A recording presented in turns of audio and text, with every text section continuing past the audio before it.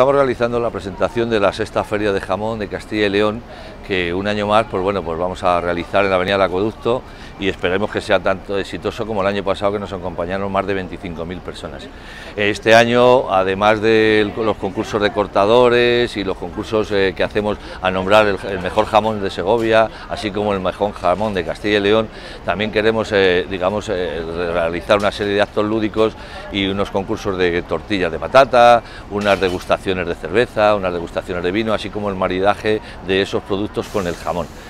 Todo eso, pues acompañado, por supuesto, con la gran carpa de tierra de sabor que va a estar eh, puesta durante los cuatro días, en la que artesanos de todo, artesanos alrededor de la gastronomía eh, de toda la comunidad autónoma van a presentar sus productos y bueno, pues esperemos que, tengamos el éxito que siempre hemos tenido. Desde luego, desde la Asociación de Camareros, pues en este año que cumplimos el 90 aniversario, no queremos dejar de realizar actividades y todo lo contrario, queremos hacer cada vez más y que la sociedad segoviana sea consciente de que nuestra asociación es importante para toda la sociedad segoviana. Desde aquí también quería aprovechar un poco para reclamar eh, el apoyo de todas las empresas, así como instituciones, que sin ellos sería imposible. Pero siempre, mm, digamos que, somos, somos pocos, necesitamos más, porque esto es muy costoso, cada año es más costoso, y si no, eh, si no fuera por, por esa colaboración